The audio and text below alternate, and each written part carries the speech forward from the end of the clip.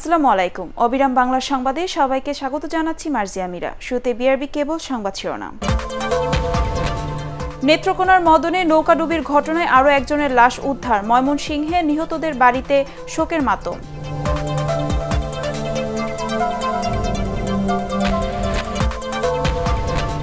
Corona ভাইরাসে আক্রান্ত হয়ে সাবেক আইন সচিবের মৃত্যু। আরও তেত্রিশ জনের মৃত্যু, আক্রান্ত দুই হাজার ছয়শো চুয়ান্ন।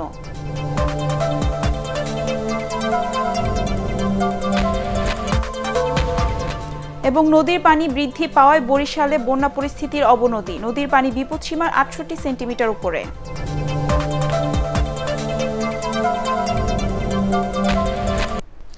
নেত্রকোনার মদনের উচিতপুরে হাওড়ো নৌকাডুবির ঘটনায় আরও একজনের লাশ উদ্ধার করা হয়েছে।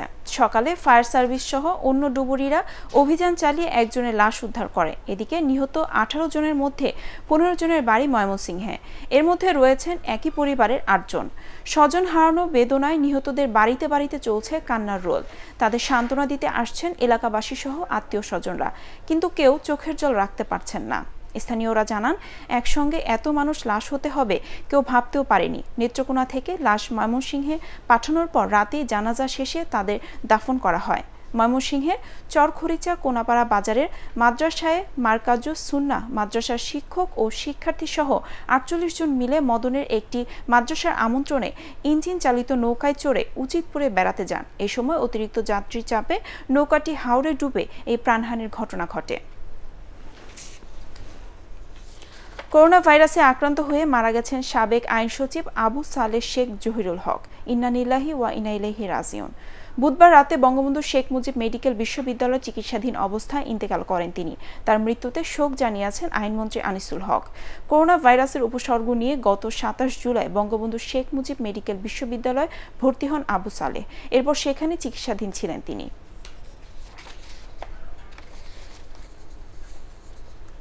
করোনা ভাইরাসে জাহাঙ্গীরনগর বিশ্ববিদ্যালয়ের টেকনিক্যাল অফিসার ইয়াকুব আলী মারা গেছেন। গত কয়েকদিন ধরে তিনি হাসপাতালে চিকিৎসাধীন ছিলেন। এছাড়া করোনা পজিটিভ হয়েছেন মৌলভীবাজার জেলা পরিষদের চেয়ারম্যান ও সাবেক সংসদ সদস্য আজিজুর রহমান। তাকে গতরাতে প্রধানমন্ত্রীর নির্দেশে বিমান বাহিনীর এয়ার অ্যাম্বুলেন্সে ঢাকা এনে বঙ্গবন্ধু মেডিকেলে ভর্তি করা হয়। ঠাকুরগাঁওয়ে আক্রান্ত হয়েছেন সংসদ সদস্য ও সাবেক পানি সম্পদ মন্ত্রী রমেশ চন্দ্র সেন সহ আটজন। অন্যদিকে নোয়াখালীতে গত চব্বিশ ঘন্টায় তিয়াত্তর, যশোরে মেডিকেল কলেজের সহযোগী অধ্যাপক ফারহানা ইয়াসমিন সহ পঁয়তাল্লিশ, চাঁপাইনবাবগঞ্জে অতিরিক্ত জেলা প্রশাসক সহ ছাব্বিশ ও ব্রাহ্মণবাড়িয়ায় চারজন করোনা পজিটিভ হয়েছেন। দেশে গত চব্বিশ ঘন্টায় করোনায় তেত্রিশ জনের মৃত্যু হয়েছে। নতুন করে পজিটিভ হয়েছেন দুই হাজার ছয়শো চুয়ান্ন জন। ফলে মোট আক্রান্তের সংখ্যা বেড়ে দাঁড়িয়েছে দুই লাখ ছেচল্লিশ হাজার ছয়শো চুয়াত্তর জনে। স্বাস্থ্য দপ্তরের অনলাইন ব্রিফিংয়ে এসব তথ্য জানানো হয়। আরও জানাচ্ছেন রাস্তা দাস। ঈদের পর করোনা ভাইরাসের সংক্রমণ আরও বাড়বে বলে সতর্ক করেছিলেন বিশেষজ্ঞরা। পরিসংখ্যান বলছে, গত সাত দিনে সংক্রমণের হার গড়ে পঁচিশ শতাংশে পৌঁছেছে। মৃতের সংখ্যা তিন হাজার পার হবার পরবর্তী আট দিনে মৃত্যু হয়েছে চারশো পঁয়ষট্টি জনের।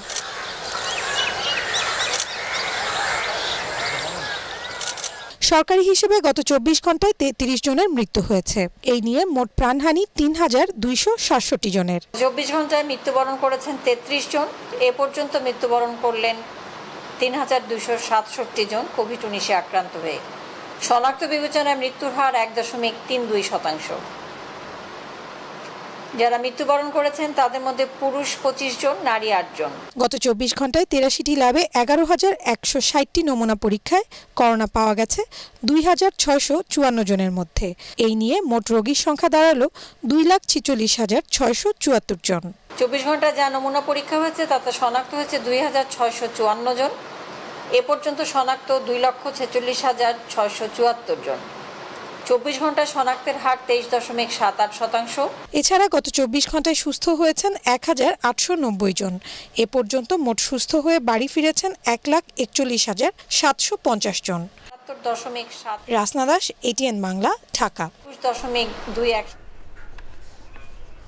নদীর পানি বৃদ্ধি পাওয়ায় বরিশালেও বন্যা দেখা দিয়েছে। বাড়িঘর ডুবে যাওয়ায় বরিশাল নগরীর পঞ্চাশ হাজারের বেশি মানুষ পানিবন্দী হয়ে পড়েছে। বরিশালে নদীর পানি বিপদসীমার আটষট্টি সেন্টিমিটার উপর দিয়ে প্রবাহিত হচ্ছে বলে পানি উন্নয়ন বোর্ড থেকে জানানো হয়। এর মধ্যে কীর্তখোলার পানি বিপদসীমার ত্রিশ সেন্টিমিটার উপর দিয়ে প্রবাহিত হয়। পলাশপুর, রসুলপুর স্টেডিয়াম, বস্তির দশ হাজার বাড়ি, ব্যবসা প্রতিষ্ঠান ও সদর রোড সহ বিভিন্ন সড়ক হাঁটু পানিতে ডুবে গেছে। এদিকে মেঘনার পানি বিপদসীমার আটষট্টি সেন্টিমিটার উপর দিয়ে প্রবাহিত হওয়ায় হিজলা, মুলাদি ও মেহেন্দিগঞ্জের পনেরোটি ইউনিয়নের প্রায় পঞ্চাশটি গ্রাম প্লাবিত হয়েছে। মেহেন্দিগঞ্জ উপজেলার অনেক অফিসেও পানি প্রবেশ করেছে। পানি বৃদ্ধি পাওয়ায় পানের বরজ বীজতলা সহ বিভিন্ন ফসলের ক্ষেত পানিতে ডুবে ক্ষতিগ্রস্ত হচ্ছে। মুন্সীগঞ্জের লৌহজং উপজেলার শিমুলিয়া ঘাট এলাকা দ্বিতীয় দফা ভাঙনে বিলীন হয়ে গেছে বিআইডব্লিউটিসির চার নম্বর ফেরিঘাটের অ্যাপ্রোচ সড়কসহ বেশ কিছু এলাকা। বৃহস্পতিবার ভোর সাড়ে পাঁচটার দিকে চার নম্বর ভিউআইপি ফেরিঘাটের বিস্তীর্ণ এলাকা নদী গর্ভে বিলীন হয়ে গেছে। এর আগে গত আঠাশ জুলাই শিমুলিয়া প্রান্তের তিন নম্বর রো রো ফেরিঘাটের অ্যাপ্রোচ সড়কসহ বেশ কিছু এলাকা নদীতে তলিয়ে যায়। এদিকে দুর্ঘটনা এড়াতে সকাল সাতটা থেকে শিমুলিয়া কাঁঠালবাড়ি নৌরুটে ফেরিসহ সকল ধরনের নৌযান চলাচল বন্ধ করে দিয়েছে ঘাট কর্তৃপক্ষ। অপেক্ষায় থাকা যানবাহনগুলোকে বিকল্প পথে যাওয়ার জন্য প্রশাসনের পক্ষ থেকে বলা হয়েছে। বঙ্গোপসাগরের সৃষ্ট নিম্নচাপের প্রভাবে বৈরী আবহাওয়ার কারণে ভোলা সংলগ্ন মেঘনা তেঁতুলিয়া নদী উত্তাল হয়ে পড়েছে। বুধবার বিকেলে মেঘনার পানি বিপদসীমার একশো পনেরো সেন্টিমিটার উপর দিয়ে প্রবাহিত হয়, যা ছিল বিগত দিনের মধ্যে সর্বোচ্চ রেকর্ড। ভোলা সদর উপজেলার ইলিশা, রাজাপুর ধনিয়া, কাচিয়া, শিবপুর সহ দৌলত খান, বোরহান উদ্দিন তজুমুদ্দিন, মনপুরা ও চরফ্যাশন উপজেলার বিভিন্ন এলাকায় বাঁধের উপর দিয়ে পানি লোকালয় ঢুকে পড়েছে। যে কোনো সময় ভোলা শহর রক্ষা বাঁধ ভেঙে ভোলা শহর তলিয়ে যাওয়ার আশঙ্কা করা হচ্ছে।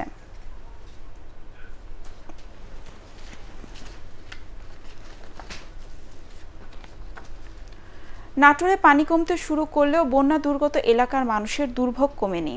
উজান থেকে নেমে আসা পানি ও ভারী বর্ষণের ফলে আবাদি জমি ও ফসলের ব্যাপক ক্ষতি হয়েছে। ভেসে গেছে শত শত পুকুরের মাছ। ফলে কৃষক ও মৎস্য চাষিরা পড়েছেন মহালোকসানের মুখে। পানি কমতে থাকলেও জীবন বাঁচাতে আশ্রয় নেওয়া পরিবারগুলো এখনই বাড়ি ফিরতে পারছে না। পানি নিচে তলিয়ে আছে তাদের ঘর বাড়ি এরই মধ্যে নলডাঙ্গা ও সিংড়া উপজেলার বন্যা কবলিত এলাকায় দেখা দিয়েছে পানিবাহিত রোগবালাই। এছাড়া দীর্ঘস্থায়ী বন্যা ও বৃষ্টির কারণে দুর্গত এলাকার খাদ্য, বিশুদ্ধ পানি ও গোখাদ্যের চরম সংকট সৃষ্টি হয়েছে। সরকারের পক্ষ থেকে ত্রাণ সামগ্রী বিতরণ করা হলেও দুর্গত মানুষেরা বলছেন প্রয়োজনের তুলনায় তা খুবই কম।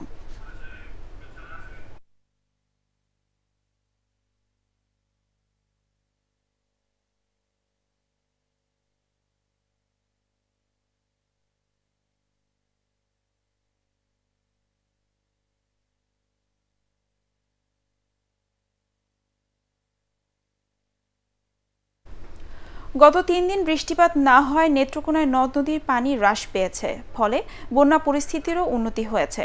সকল নদীর পানি এখন বিপদসীমার নিচ দিয়ে প্রবাহিত হচ্ছে। তবে জেলার নিম্নাঞ্চল খালিয়াজুড়ি উপজেলার বেশিরভাগ গ্রাম এখনও পানিতে প্লাবিত থাকায় পানিবন্দী রয়েছে এক লাখ মানুষ। বন্যা দুর্গত এলাকায় খাদ্য ও বিশুদ্ধ পানির তীব্র সংকট দেখা দিয়েছে। সেই সঙ্গে দেখা দিয়েছে বিভিন্ন পানিবাহিত রোগ।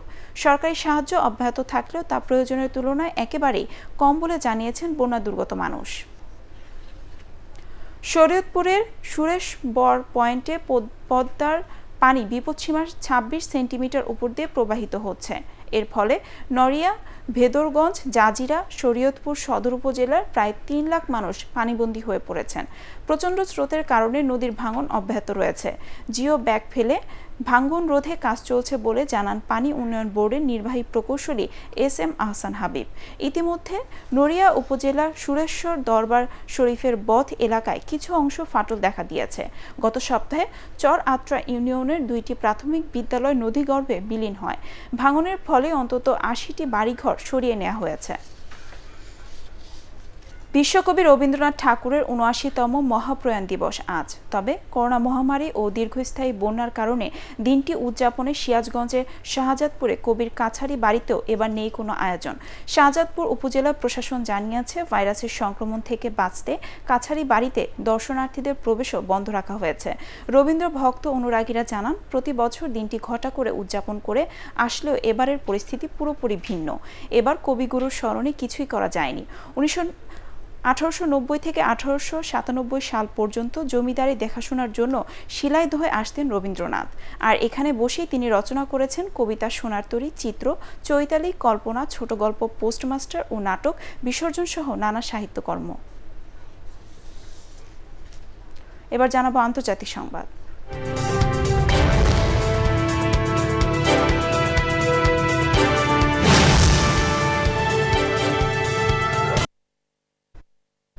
জাপানের হিরোসীমায় আণবিক বোমা হামলার পঁচাত্তর বছর পালন করা হচ্ছে আজ।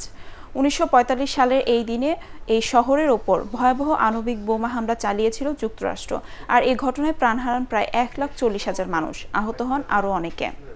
শুধু তাই নয় হিরোসীমার হামলায় তিন দিন পর নাগাসাকিতে আবার এই হামলা চালানো হয়। তবে করোনা ভাইরাসের কারণে দিনটি পালনে তেমন কোনো আয়োজন নেই। করোনায় আক্রান্ত হয়েছেন জাতীয় ফুটবল দলের চার সদস্য। বিশ্বকাপ ও এশিয়ান কাপের যৌথ বাছাই পর্বের ম্যাচকে সামনে রেখে প্রাথমিকভাবে বিশ জনের টেস্ট করানো হয়। সেখানে করোনা ধরা পড়ে এবারই দলে ডাক পাওয়া বাংলাদেশ পুলিশের এম এস বাবলু ও নাজমুল ইসলাম রাসেল এবং উত্তর বাড়িধারার সুমন রেজার। এর আগে প্রথম করোনা শনাক্ত হয়েছিল জাতীয় দলের অভিজ্ঞ ডিফেন্ডার বিশ্বনাথ ঘোষের। আজ থেকে গাজীপুরের সারা রিসোর্টে শুরু হচ্ছে জাতীয় দলের ক্যাম্প। করোনা ভাইরাসের কারণে ইউএস ওপেন থেকে নাম প্রত্যাহার করে নিয়েছেন বর্তমান চ্যাম্পিয়ন রাফেল নাদাল। টুইটার অ্যাকাউন্টে নিজেই বিষয়টি নিশ্চিত করেন স্প্যানিশ তারকা। আগামী একত্রিশ আগস্ট নিউ ইয়র্কের ফ্লাশিং মিডোতে শুরু হওয়ার কথা এই গ্র্যান্ড স্ল্যাম টুর্নামেন্টের। র্যাঙ্কিংয়ের দুই নম্বর তারকা রাফেল নাদাল বলেন, বিশ্বজুড়ে কোভিড নাইন্টিন আক্রান্তের সংখ্যা বাড়ছে প্রতিনিয়ত। এমন অবস্থায় যুক্তরাষ্ট্রে না যাওয়ার সিদ্ধান্ত নিয়েছেন তিনি। শেষ করার আগে বিআরবি কেবল সংবাদ শিরোনাম আরেকবার। নেত্রকোনার মদনে নৌকাডুবির ঘটনায় আরও একজনের লাশ উদ্ধার, ময়মনসিংহে নিহতর বাড়িতে শোকের মাতম।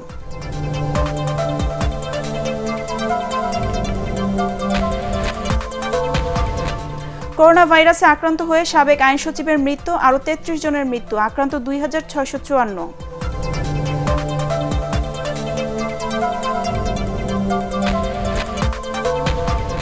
এবং নদীর পানি বৃদ্ধি পাওয়ায় বরিশালে বন্যা পরিস্থিতির অবনতি, নদীর পানি বিপদসীমার আটষট্টি সেন্টিমিটার উপরে।